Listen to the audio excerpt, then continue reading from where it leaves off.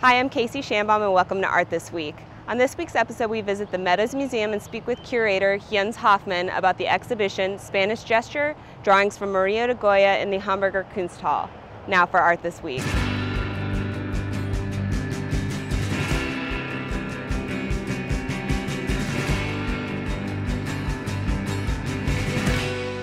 I'm here with Jens Hoffmann at the Meadows Museum to talk a little bit about the exhibition, The Spanish Gesture. Jens, thank you for being with us here. Thank you for having me here. No problem. So first I want to ask you about the significance of having such a large collection of Spanish drawings on an exhibition in the same place. Well, actually, it's uh, the third biggest um, collection outside of Spain, and we are very happy with it, but it was a single uh, moment in which the old uh, director uh, decided to, to buy the collection he saw in Berlin.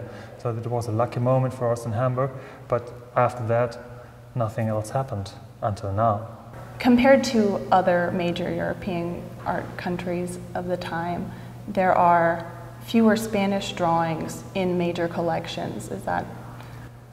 Well, one of the reasons may be that um, with, for instance, the, the uh, burning of the Alcázar, they lost mm -hmm. a lot of Spanish drawings uh, on, of the court uh, area, and another collection uh, which was lost in the Civil War in 1936 in Gijón.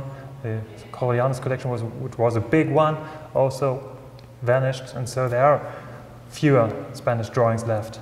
Mm -hmm. And well, to have one of the largest collections in Hamburg, we are very proud of. Proud of yes, wonderful. So in this gallery, uh, we see drawings attributed to Murillo and the School of Murillo. Um, what is the role that the, the Academy played in shaping these artists, and, and what influence did they have on each other? Well, the, the history of academies began, began in, in Italian, uh, in Italy. And in Spain, there were, were several centers of, of art, which was Sevilla and Granada, uh, Cordoba and Madrid. Uh, but the, uh, the apprenticeship or the, the, workshops were very uh, distributed in, in, in, in, several places. Mm -hmm. And the artists uh, Murillo and Herrera Joven, um, Cornelio Schut, and Juan de Valdes Leal, they wanted to create an academy to, to uh, make better possibilities for, for the pupils. Mm -hmm. And so they, they collected uh, those drawings, and this is the, the core, the, the, the, the starting point of this collection. Sort of an issue that you guys have had in, in identifying or attributing these drawings to, to one artist or another. Can you speak a little bit about the story behind this drawing? Well, in the beginning, this drawing was attributed to the School of Murillo. In the collection, we thought it is so good drawing that, that it has to be by Murillo itself. Mm -hmm. But it doesn't fit with other drawings, not really. It's a slightly different use of the red chalk and the black chalk. Uh, after the close look, we came to the solution that it has to be by Valdes Leal, what is, in other words, the same school of Murillo, because mm -hmm. that was the way the academy of all those painters and, and draftsmen was, uh, was named. So it, it's not really a change of attribution, but it's a change of the, the really draftsman. And now we are, we are very convinced to have the right solution to, to this, but uh, the attribution to, to of this, these drawings will will um, forever be uh, our daily work. As long as you don't have a signature, uh, as long as you don't have a painting uh, which stands in, in relation to, mm -hmm. to the drawing, you cannot be really sure. So now we're here in the gallery where you have uh, many drawings by Goya. Uh, Goya was a court painter, but none of these drawings have a direct connection to any court paintings. Can you speak a little bit about what you think these drawings were for? Well, obviously, uh, these drawings were made by him following his own ideas and his own interests. And for instance, here we see the balloon, and as you know, Goya was always, uh, well, if he lived today, he would have used an iPad for, for, for drawing, surely, because he was, in all his, his, his uh, graphic ideas, he was one of the first to try the new methods and the new techniques.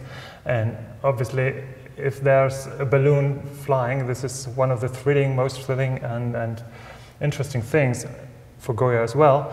And so uh, it's no wonder that he uh, would have drawn it for his own purpose.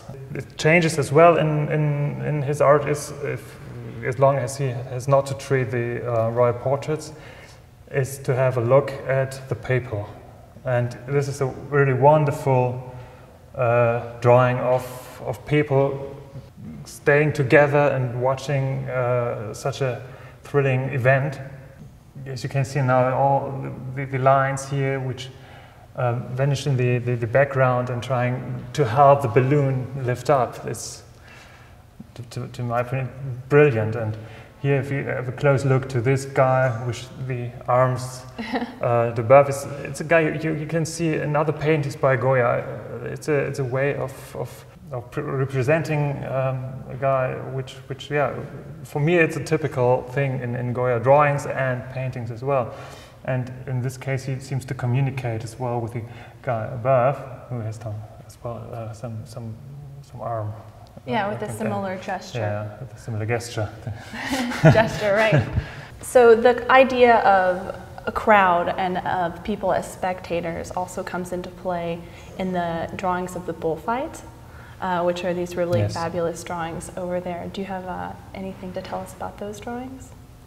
Well, you know, they are preparatory drawings to the, uh, to the uh, printed series, and they were drawings in red chalk, uh, which differs now for, uh, uh, to this in black chalk. And the way he tries to represent the, the, the, the spectators, spectators over there is, is very, very thrilling as well because it's, it's nearly the end of drawing. What he does over there is just to, yeah, to to get it down. To, to, to, to, get it down in, in, in a hole. He doesn't uh, fix any uh, faces, but you see a, a, crowd as one face and then one, one uh, yeah, it's, it's, it's, it's just a new way of representing mm -hmm. many people. Well, wonderful. Thank you so much for speaking with us. We really appreciate it. Thank you. I appreciate it very much. We want to thank Jens for speaking with us, and for more information on the exhibition, go to meadowsmuseumdallas.org. That's it for Art This Week. Thanks for watching.